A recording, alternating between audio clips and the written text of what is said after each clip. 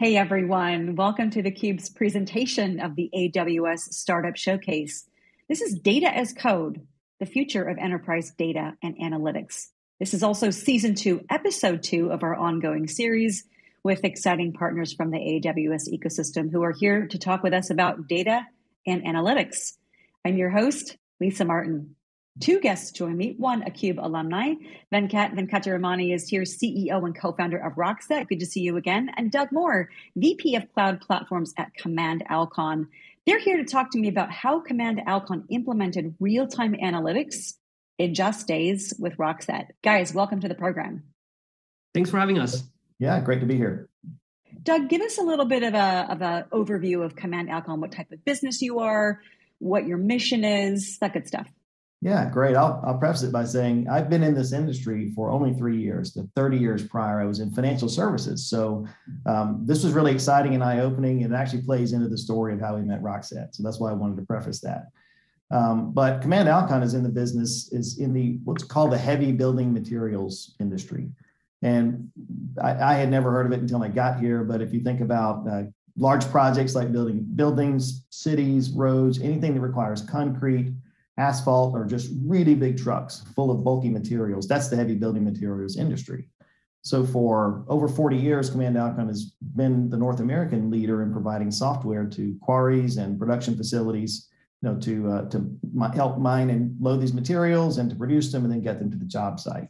So that's what our supply chain is: is from the quarry through the development of these materials and then out to the to a heavy building materials job site. Got it. Now, how historically in the past has the movement of construction materials been coordinated? What, what was that like before you guys came on the scene? You'll you'll love this answer. So um, because I again it's like a step back in time. When I when I got here, the people told me that we were trying to come up with the platform that there are 27 industry studied globally. And our industry is second to last in terms of automation, which meant that literally everything is still being done with paper and a lot of paper. So when one of the let's say material is developed, concrete, asphalt is produced, and then needs to get to the job site. They start by creating a five-part printed ticket or delivery uh, description that then goes to multiple parties. It ends up getting touched physically over 50 times for every delivery. And to give you some idea of what kind of scale that is, there are over 330 million of these type deliveries in North America every year. So it's really a lot of paper and a lot of manual work. So that was the state of really where we were. And obviously, there are compelling reasons, certainly today, but even three, four, five years ago, to automate that and digitize it. Wow, tremendous potential to go nowhere but up with the amount of paper, the lack of, yeah. of automation. So, so um, you guys, Command Alkon built a platform, a, a cloud software construction construction software platform. Talk to me about that, why you built it, what was the compelling event? I mean, I think you've kind of already explained the compelling event of all the paper, but give us a little right. bit more context. Yeah, that was the original. And then we'll get into what happened two years ago, which made it even more compelling. But uh, essentially, with everything on, on premises, there's really a huge amount of inefficiency. So, you know, people have heard the enormous numbers that it takes to build a, a highway or a really large construction project. And a lot of that is tied up in these inefficiencies.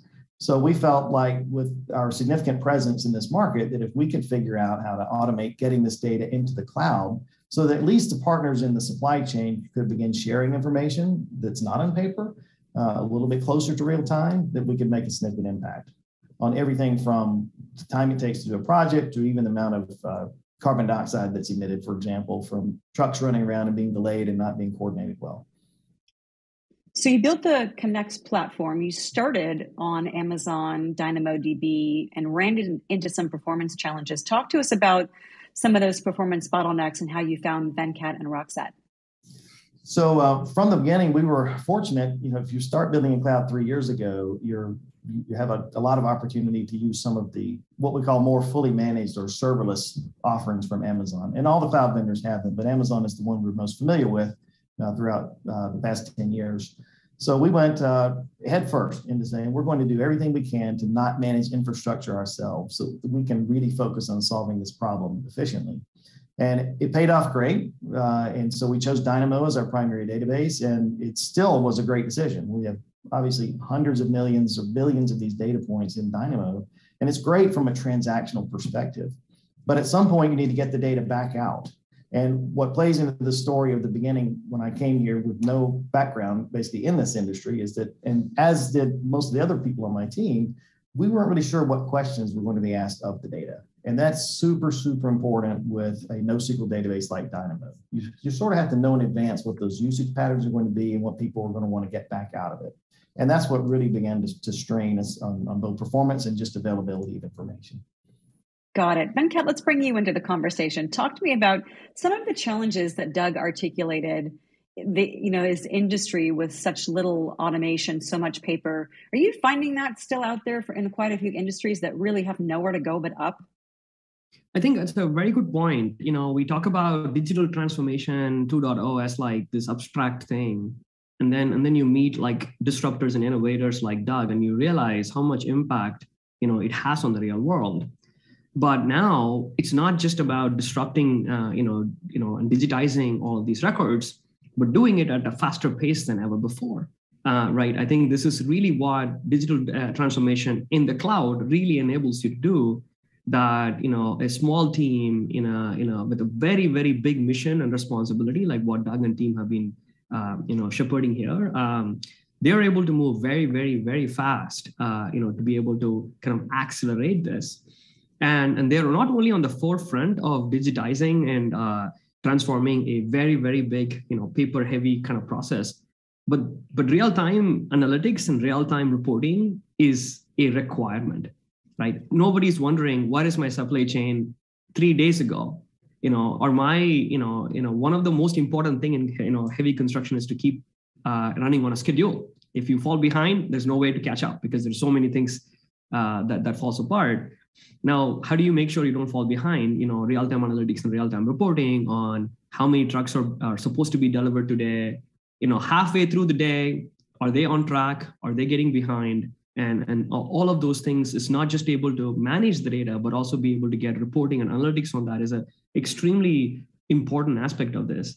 So this is like a combination of digital transformation happening in the cloud in real time and real time analytics being the, at the forefront of it. And so we're very, very happy to partner with, uh, with, with you know, digital disruptors like Doug and his team uh, to be part of this movement. Doug, as Venkat mentioned, access to real time data is a requirement. That is just yeah. simple truth these days. I'm just curious, compelling event wise, was COVID an accelerator? Because we, we all know of the supply chain challenges that we're all facing in one way or the other. Mm-hmm. Was that part of a compelling event that had you guys go and say, we want to do DynamoDB plus Rockset? Yeah, that, that is a fantastic question. In fact, uh, more so than you can imagine. So, anytime you come into an industry and you're going to try to completely change or revolutionize the way it operates, it takes a long time to get the message out, sometimes years. I remember in insurance, it took almost 10 years really to get that message out and get great adoption. Uh, and then COVID came along. And when COVID came along, uh, we all of a sudden had a situation where drivers and the foreman on the job site didn't want to exchange the paperwork. Uh, I heard one story of a driver taping the ticket for signature to the foreman on a broomstick and putting it out his window so that he didn't get too close. It really was that dramatic. And again, this is the early days and no one really has any idea what's happening. And we're all working from home. So we launched, uh, we saw that as an opportunity to really help people solve that problem and understand more what this transformation would mean in the long term. So we launched internally what we called Project Lemonade, obviously from you know make lemonade out of lemons. Is that the situation that we were in? And we immediately uh, made some enhancements to a mobile app and then launched that to the field so that basically there's a, now a digital acceptance capability where the driver can just stay in the vehicle and the foreman can be anywhere, look at the materials, say it's acceptable for delivery, and go from there. So yeah, it made a it, it, it actually immediately caused many of our customers, hundreds, to begin to want to push their data to the cloud for that reason, just to take advantage of that one capability. Project Lemonade sounds like it's made a mm-hmm. lot of lemonade out of a lot of lemons. Can you comment, Doug, on kind of the, the larger trend of real time analytics and logistics? Yeah, obviously, and, and this is something I didn't think about much either, not knowing anything about concrete other than it was in my driveway before I got here. And that it's a it's a perishable product, and and it, you've got that basically no more than about an hour and a half from the time you mix it, put it in the drum, and get it to the job site and pour it, and then the next one has to come behind it. And I remember, a, um, the, the trend is that uh, we can't really do that on paper anymore and stay on top of what has to be done when we get into the field. So uh, a foreman I recall saying uh, that when you're in the field waiting on delivery, that you and you have people standing around and preparing the site, ready to make a pour, that two minutes is an eternity. And so, you know, real time is always a, a controversial word because it means something different to anyone. But that gave it real, you know, real clarity to me what it really meant to have real time analytics on how are we doing and where are my vehicles and how is this job performing today. And I think that a lot of people are still trying to figure out how to do that. And fortunately, we found a great tool set that's allowing us to do that at scale. Um, thankfully, you know, for uh, Rockset primarily. Venkat, talk about it from your perspective, the larger trend of real time analytics, not just in logistics, but in other key industries. Yeah, I think um, I think we're seeing this across the board. I, I think you know whether you know even um, we, we see a huge trend even within an enterprise, uh, different teams from the marketing team the support teams uh, to more and more business operations team to the security team uh, you know, really moving uh, more and more of their use cases from batch to real time. So we see this, uh, uh, you know, the, the industries that are the innovators and the pioneers here are the ones for whom real time is a requirement, uh, like Doug and his team here, where you know if, if it is old news it's it's no news. It's it's not it's useless right? Um, but i think even within you know across all industries whether it is you know gaming whether it is um, you know, uh, fintech, uh, you know, buy now pay later companies, e-learning platforms. So across, you know, ed tech and you know, so many different platforms, there is there is always this need uh, for business operations. Some, you know, certain aspects, certain teams within uh, large organizations to to you know have to you know tell me how to win the game and not like you know play Monday morning quarterback after the game is over. Right. Doug, let's go back over to you. I'm curious with Connex, have you been able to scale the platform since you integrated with Rockset? Talk to us about some of the outcomes that you've achieved so far. Yeah, we, we, we have. And, and of course, we knew when we made our database selection with, with Dynamo that it, it really doesn't have a top end in terms of how much information that we can throw at it. But that's very, very challenging when it comes to using that information for reporting. But we found the same thing as we've scaled the analytics side uh, with our uh, Rockset indexing and searching of that database. So the scale in terms of the number of customers and the amount of data we've been able to take on has been um, has been not been a problem. And, and honestly, for the first time in my career, I can say that we've always had to add people every time we add a certain number of customers, and that has absolutely not been the case with this platform. Well, and I imagine the what team is, that you do have is far more, sorry, Venkat, far more um, strategic and able to focus on bigger projects it, it is, and, and you'd be amazed at. It, I mean, Venkat hit on a couple of points that it's in, in terms of the adoption of analytics. What we found is that we're as big a customer of this analytic engine as our customers are, because our marketing team and our sales team are always coming to us. Well, how many customers are doing this? How many partners are connected in this way? Which feature flags are turned on in the platform? Uh, and the way this works is all data that we push into the platform is automatically just indexed and ready for reporting analytics. So we really, it's no additional add of work you know, to answer these questions, which has really been phenomenal.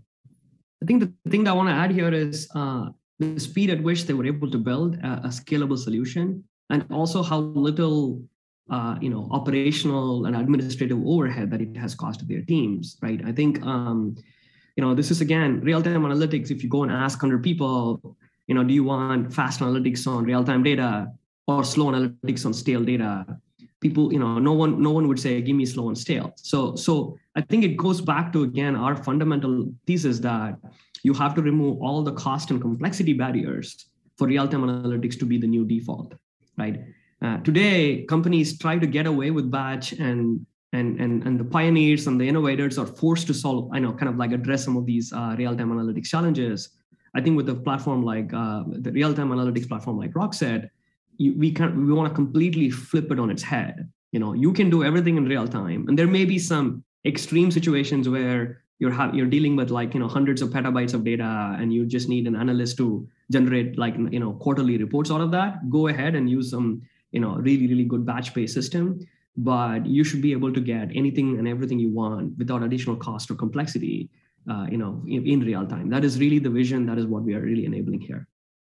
Ben, can I want to also get your perspective, and Doug, I'd like your perspective on this as well. But that is the role of cloud native and serverless technologies in digital disruption. Venkat, what do you see there? Yeah, I think um, it's it's huge. I think you know you know you you know again and again every customer you know and we meet uh, you know Command Alkon and, and and Doug and his team is a great example of this where they really want to spend as much time and energies and calories that they have to you know help their business right? Like what what what are we accomplishing trying to accomplish as a business? How do we enable how do we build better products? How do we grow revenue? How do we eliminate risk uh, that is inherent in the business? And that is really where they want to spend all of their energy is not trying to like you know install some backend software administer it build ETL pipelines and and so on and so forth.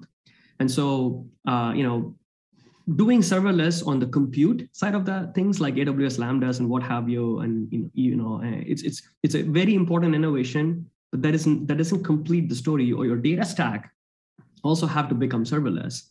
And and that is really the vision with rockset that your entire real-time analytics stack can be you know operating and managing. It could be as simple as managing a serverless stack for your for your compute environments uh, like your api servers and what have you and so, so I think that is going to be a that is for here to stay. This is a path towards simplicity, and simplicity scales really, really well. Right? Complexity will always be the killer that will limit how far you know you can use this uh, solution and, and how uh, you know how many problems can you solve with that solution so simplicity is a very very important aspect here and serverless helps you uh, you know deliver that and Doug, that's your thoughts on cloud native and serverless in yeah, that, terms of digital point. disruption? Great point. And there are two parts to the scalability part. The second one is the one that's uh, more subtle unless you're in charge of the budget. And that is that we know with enough effort and enough money, uh, you can make almost any technology scale, whether it's multiple copies of it. You know, it, it may take a long time to get there, but you can get there with most technologies. But what is least scalable, at least that, that I, as I see it in this industry, is the people everybody knows we have a talent shortage and these other ways of getting the real-time analytics and scaling infrastructure for compute and uh, database storage uh, it, it really takes a highly skilled uh, set of resources. And the more your company grows the more of those you need. And that is what we really can't find. And, and that's actually what drove uh, our team in, uh, in our last industry to even go this way. We reached a point where our growth was limited by the people we could find. And so we really wanted to break out of that so now we have the best of both scalable, scalable people because we don't have to scale them and scalable technology. Excellent. The best of both worlds. Isn't that great when those two things come together? Gentlemen, thank you so much for joining me on the Cube today, talking about what Rockset and Command Alkon are doing together, better together, what you're enabling from a, a supply chain digitization perspective. We appreciate your insights. Great. Thank you. Thanks, Lisa. Thanks for having us. My pleasure. For Doug Moore and Venkat Venkataramani, I'm Lisa Martin. Keep it right here for more coverage of theCUBE, your leader in high-tech event coverage.